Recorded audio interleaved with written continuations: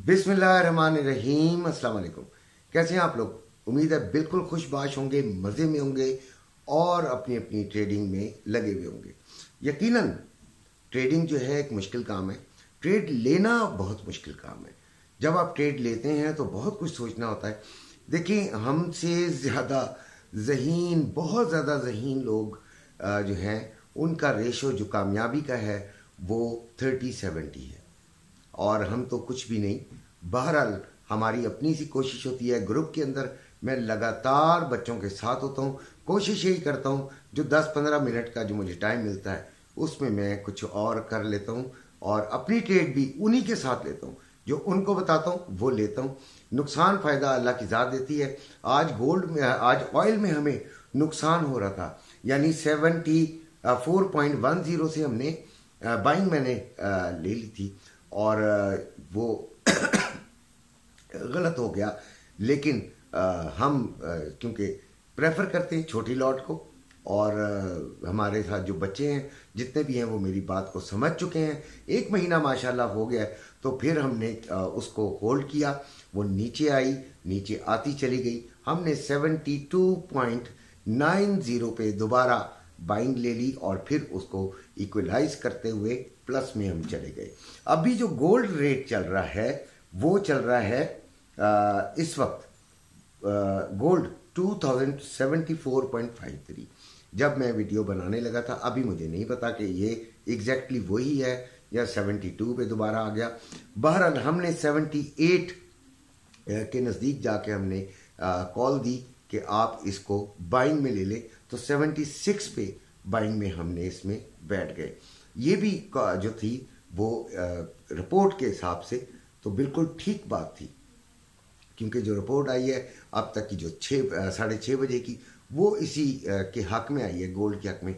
लेकिन ऐसा नज़र नहीं आ रहा। गोल्ड अपनी मर्ज़ी से आगे पीछे हो रहा है और उसको होने दें, कोई बात नहीं। वो कामयाबी, नाकामी तो अल्लाह की ज़ात। हम देखें, मुसलमान के हैसियत से बेशक ट्रेडिंग कर रहे हैं, लेकिन मुसलमान की हैसियत से हमें ये बात जहन में रखनी चाहिए कि जो कुछ भी है, वो अल्लाह के ही कंट्रोल के अंदर है। बाकी ये जो जो मर्ज़ी करते रहें, हमें फ़ायदा होना होगा तो ज़रूर होगा।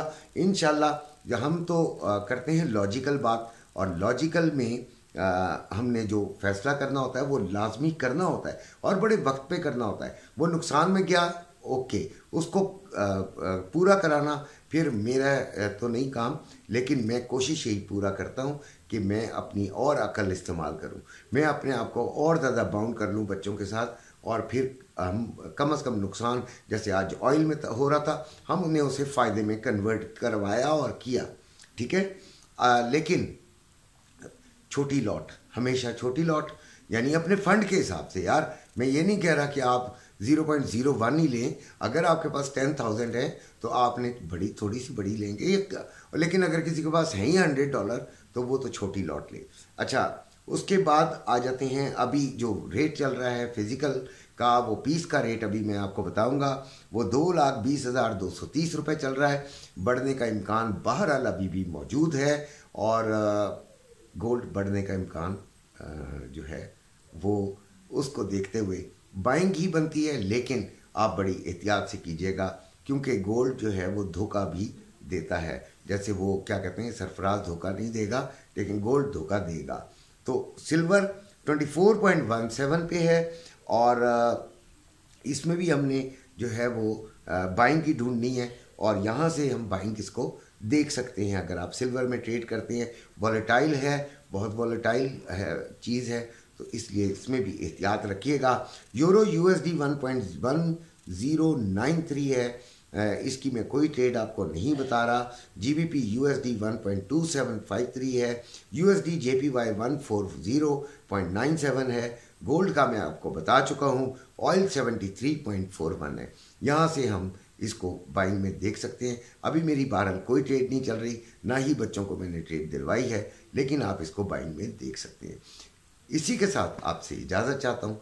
नंबर चल रहा है स्क्रीन पर, आप चाहें तो मुझे कॉल कर सकते हैं और अपना नाम ग्रुप में ऐड करवा सकते हैं। पेड ग्रुप है, ये बात जहन में रखिएगा अपना अपने घर वालों का ख्याल रखिएगा। अल्लाह